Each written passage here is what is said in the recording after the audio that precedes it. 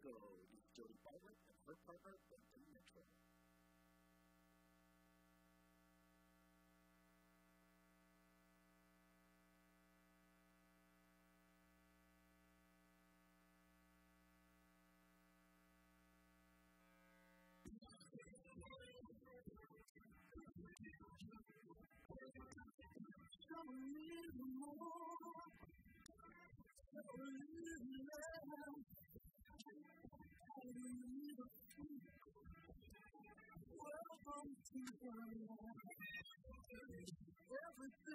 dream on, but never can confess. Nothing's worth it.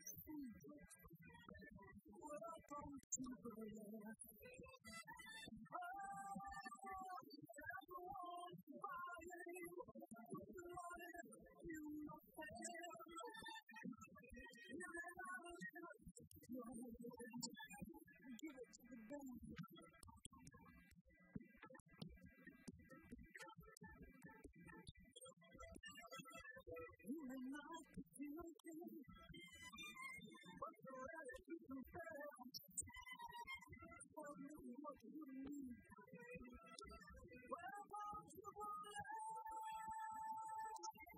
we